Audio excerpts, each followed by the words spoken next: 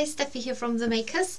I'm here to show you how to wrap wool around pipe cleaner, mainly um, wool tops, uh, to make a smooth finish, but it's all also going to turn into a chameleon's curly tail.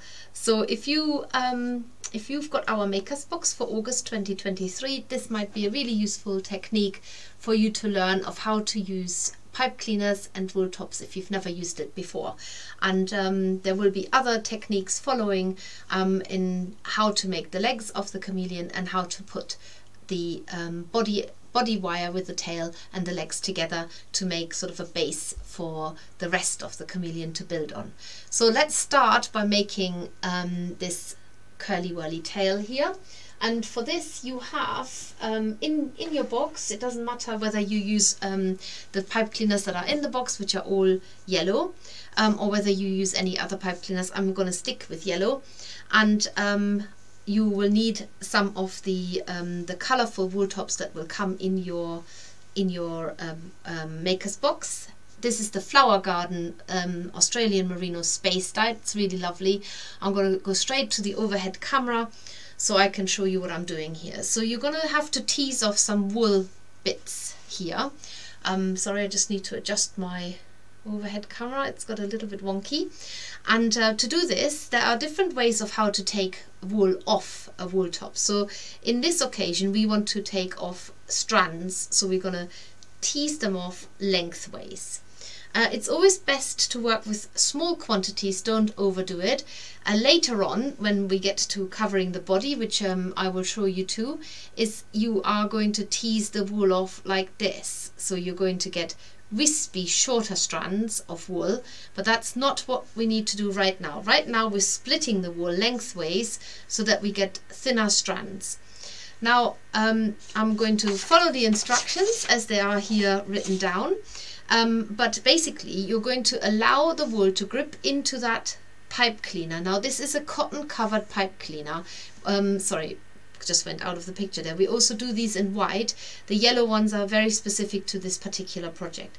And you are going to have to allow the wool to always grip into that um, cover whether it's a cotton covered pipe cleaner or a chenille pipe cleaner. But notice what I'm doing is I'm folding the wool over. I'm not really holding onto it and doing this because if you can see what happens is that you are twisting the wool and you're going to get little sausages wrapping around the pipe cleaner. That is not what we're wanting to do. We don't want to twist the wool. We want it to stay nice and flat um, so that when you fold it over, the, the width of the wool will always grip into that pipe cleaner. So you're going to begin wrapping um, one layer over the pipe cleaner. So, sometimes if you find it easier to have a shorter length um, of wool strand, then um, do that with a shorter length.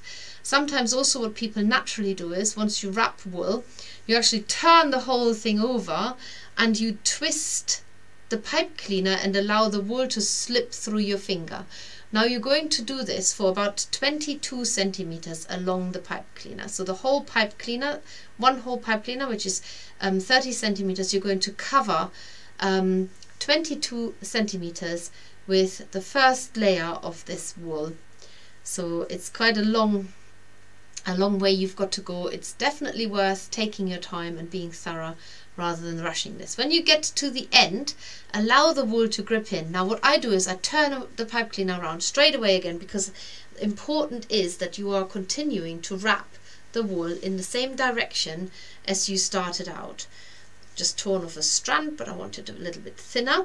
So because it's in the right way, I know that if I start up with this end, I know that this is the direction of the wool that I've um, wrapped the wool around the pipe cleaner before, just get it established, then turn it over and I'm still going to twist my pipe cleaner. It's a really good way to get this wool on there nice and even and you don't you're not even tempted to twist the wool.